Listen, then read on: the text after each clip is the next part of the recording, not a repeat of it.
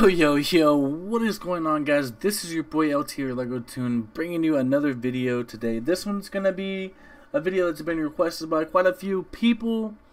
Uh, I did a video about a year and a half ago called How to Record Your Voice, How to Record Your Own Voice with the HD PVR2 Gaming Edition. I will leave a link in the description to both of them. I have an updated version that was like six months ago, maybe a year ago. God, it's been so long. But they have so many views on it, like 20,000 views and then like 10,000 views. Their videos have been really popular on our channel. And um, a lot of people have been asking me how to stream and stuff like that, and I've been writing them in the comments and stuff. So I figured I'd make a video to help everyone out in case they don't know how to stream with the HD PVR 2. Now, the first thing you will need is going to be open broadcast software but it's called OBS Studios. It's not the classic version, so you go to right here, obsprojects.com. I'll have a link in the description. You can click on it right now and go download it.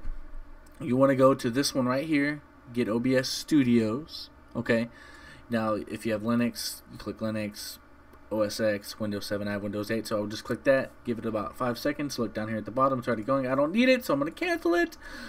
But after you do that, you basically just follow the steps. Really self-explanatory. Yes, yes, I agree. Blah blah blah. Bam. All right. So when you guys get it, all right, we'll exit that. So it's gonna be here. Bam. It's gonna it should say uh, 0.13.2.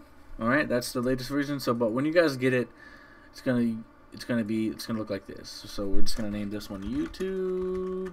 Oh my God, YouTube. There we go it's gonna look like this all right don't don't worry about my cod and all that kind of stuff. Don't worry about that. It's gonna look like this. So to add a scene you can click this little plus button add a scene name it like lol bam there's another scene. Okay? That's really simple. I mean click the plus button add a scene. Once you add a scene you want to add a source. Now the old OBS did not pick up the HD PVR2 you had to do like a window capture and all that all that stuff like that was really difficult and it was annoying, but the, well, with multi-platform, or excuse me, OBS Studios, it's really simple. So you click the little plus button down here. You're going to go to Video Capture Device, right? We'll name it HD PVR 2. Bang. And look, as soon as you click it, it's going to pick it up. This is what I have connected to my computer, so it's going to pick up the HD PVR 2. And so when when when you have it pulled up, the first thing that's going to happen is it's going to say activate. Like mine says deactivate uh, because it's already activated. But you're going to activate it, configure your video, leave all this stuff the same, like uh, video coloring space, the video range, all that. Just leave it default. Leave all this default and click OK. There you go. That's it. That's so now you turn on your Xbox One, PS4, whatever it is that you have, you'll get video right here. Uh, I already have my HD PVR2 right here, so it's not going to show right here. But there you go. Now what you need to do, you're basically set for settings. If you don't, like if, okay, let's say you have an overlay, right? So you have your gameplay back here, you have overlay. I'll show you again. So you just click the little plus button, add image, right? We'll go overlay 2.0, bang. We're going to go to browse. Here it is right here. Look, stream overlay. This is I haven't used a stream overlay in probably a year, but you know, this this is a stream overlay. There you go. Easy as that. Easy, easy, easy, easy, easy. If you want to add a webcam, same thing. Plus it. You want to go to the little plus button, plus button, video capture device. You want to name it cam if you want. I already have cam name, sorry. Cam, bam. And just change it over to the Logitech and then it will pop up here. I already have it over there, so of course it's not going to do that. But you guys get the point. Really simple, really easy, dumbed down for anyone to use. Alright? So now what you need to do is get into your settings for streaming with HD PVR2. There's a few things that you need to have certain for the HD PVR2, but it's real simple. I'll break it down for you real quick and you know you'll be out of here in no time and you'll be streaming in no time. Alright, so you want to click the little settings button uh, I have the dark theme. You can change it to default. Default is really bright and really like just hits me in the face. I'm like ah, so I don't really have it on bright. Uh, I like the dark theme. Uh, you know, if it's for me, I like it. That's just personal preference. So you want to click on your stream. Now this is where you need to go to Twitch. Go find your stream key. If you don't know how to find your stream key, go look it up on YouTube. Go, how to find your stream key. It's real simple. Um, you want to click streaming service, and of course you have all these YouTube, Hitbox, all that kind of stuff like that. I use Twitch. Uh, I live in Texas, so Dallas is the closest server to me, and uh, I have the best ping to that. And put my stream key, hit apply, and done. Bam. Now you can technically stream if you wanted to. Just click the start streaming button and go. But I wouldn't really recommend that until you have your settings all tweaked out, and it's gonna be settings are gonna be different for people. Like I have a low tier computer, but it's also it's also you know it's a mad machine. It can do crazy things. Uh, if you have a high tier computer and you paid two three thousand dollars for it, your settings could be higher or lower. It all depends on that stuff. But technically, right now you could stream with the HD PVR2 with just those three steps. Or yeah, download, add a scene, and then this right here. That's it. You can basically stream right now. But we're gonna go a little bit more into depth with it, just just for the sake of the video, just for you guys to look at it. So when you get it, it's gonna be like this. It's gonna say simple. Okay, it's simple.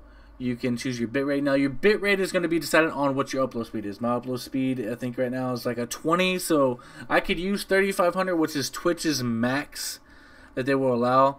But here's here's the thing. I don't use 3500 for the simple fact that if someone in Canada or someone in uh, the UK comes into my stream and their their upload speed is only like two, right? They have a two two megabyte upload then they're not going to be able to watch my stream if I'm at 3500. They're going to be, it's constantly going to be buffering for them.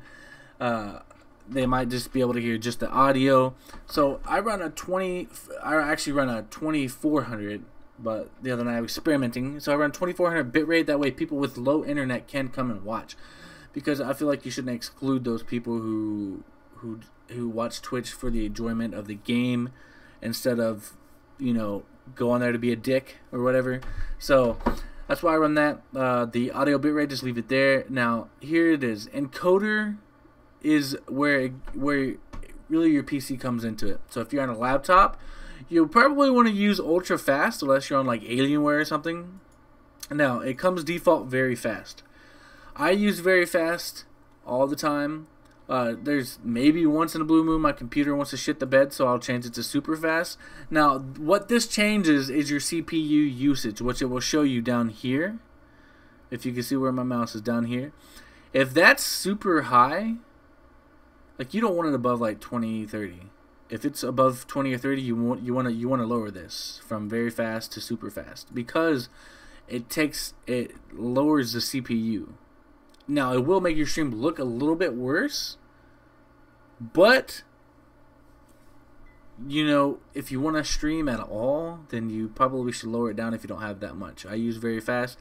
If if your stream is lagging a lot and you feel like your computer is about to combust, lower it down to super fast. And again, if it feels the same, ultra fast.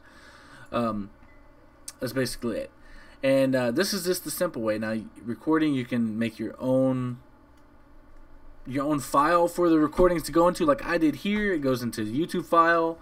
Uh, if now the recording quality, if you want it to be like your stream, just the the the quality of your stream, if you have a good quality or a bad quality, whatever it is, you decide your mind whether you want to upload a video to YouTube, whether you want it to be the same or not. I personally use the high. Now it does take more CPU usage, but I have a CPU that can handle it, so therefore that's what I use. Um, I actually use the advanced settings because I know quite a bit about it. So uh, I use two audio tracks. You guys can pause the video right here and use these settings if you want. Try them out. Of course, it's going to be different for everyone. Like I said, guys, all depends on your computer, your internet speed, and all that kind of good stuff. But if you want to, go ahead and take take a picture, do whatever you want. Use these settings and try it out for you and tweak them to your liking. I have no, you know, I don't mind at all. So this, the encoder, you can't really change as of right now. You do want to enforce the streamer um, service coders, which Twitch says I think I have 3500 bit rate is the most you can do or whatever like that. Uh, my rescale is to, at 720. I do stream in 720. It's a little bit lower than 720 sometimes, depending on when my computer decides to shit the bed. But other than that, uh, like I said, a 2400 bit rate. The keyframe for the HD PVR2 is 2, so you want to use 2. This could change for some people depending on the computer as well. I do run on very fast. Uh, profile and everything is none, and that's pretty much it for that. You, you, you want to click apply and uh, move on, like, and then recording at the top here. I use a standard. This goes to my OBS recordings. I use MP4 format because it works with Sony Vegas. If you're going to use Sony Vegas, make sure this is on MP4 because these other files just get fucked in Sony Vegas and it's just like a cluster clusterfuck basically. I also use two audios for my headphones and my Blue Snowball mic. Like I said, again, the encoder, I can use my stream encoder, but it's always been at 264 and it looks fine to me. Uh, I do stream in 1080p. It does take more CPU, of course, but if you have a computer to take it, then use it. Why not? Why not take advantage of that, that expensive computer? I do record in 15,000 bitrate. Uh, I do use custom buffer. Uh, very fast again. I use high on the profile for the recording. You can, you can pause the video, try this if you want, tweak it to your likings again, um, and click apply and you're done. Now, one of the most one of the most important things is is going to be on this stream on this this tab right here, the audio tab. So I use a 48. You can use 41. All this really doesn't matter. What matters is what's right down here, right here. So for the HD PVR2, Gaming Edition. The mic to video delay is 15,000 millis or 1500 milliseconds. I've used that 1500 milliseconds in recordings. I've used it in streaming. I've been on and off streaming for the last year and a half. I haven't been consistent, which is my fault, and I do apologize. Uh, hopefully, we can change a little bit, but 1500 milliseconds is like you don't want it to be like a bad Japanese movie where they're like you see their lips moving, and then five seconds later, then you hear them talking. That's what it would be like if you don't put the mic aux in like this. Okay? So if you want your. It's to be off by like a half a second, but that's better than five seconds. So 1500, 1500 uh, milliseconds is what I've been using this whole time, and it works perfectly fine. You could try it out. You could tweak it, bring it up a little bit, bring it down a little bit, maybe 1550. Try something out for you. 1500 works for me, but make sure you have this in here so your your audio is not off by like a mile, and people are like, "Hey, what are you saying?" You know, you're getting killed. You, you're speaking, and then like if you get killed in Call of Duty and you say, "Oh shit," or something like that. If you rage or whatever, they hear you say that and they're like, "Well, what happened? You're still on the wall run." You know what I'm saying? You don't want it to happen. So put this at 1500 milliseconds and try it out and see how it works for you. I mean, basically, all the settings are the same. I just run a base resolution of 1920 by 1080 because the HD PVR2 does record at 1080 60 FPS, but I do downscale it to 720 because I record, or not record, sorry, I stream 720. Uh, I leave it at 30 FPS because Call of Duty is what I mainly play, and it's 30 FPS most of the time. At least I don't think it goes higher than that. But anyways, it does record at 60 FPS, but 30 is just fine. It Looks just great. Uh, basically, that's it. Once you finish that right there, you can stream. I mean, you're pretty much done. So you have your game, you have everything. Now you just click to start streaming right here. Don't worry about the scene transaction fade. That's just like how long it takes to go from here to here and all that kind of stuff like that. Uh, then click start streaming and, the, and you're good to go. I mean, you start like you said, you will have to tweak your settings a little bit. If your CPU is real high, you want to go into settings and you might want to go to your output. You might want to lower this down to say like 2200 or something like that if you're having a really laggy time or you're just gonna have to tweak with it and play with it, guys. But uh, I hope you guys, I hope this guys did, I hope this video did help you out uh, somewhat with the HD PVR2. Uh, I have a lot of other stuff that we can do with it. If you guys need help, just just leave a comment. I will I will reply. I promise you, it might take me a day or two, but I will get to you and reply to your comments on whatever that you need help with. Uh, and don't forget to leave a like and subscribe if you haven't already. Go check out our Call of Duty videos and all that good stuff like that. And as always, guys, this has been your boy LT Legatune. I will see you guys in the next one.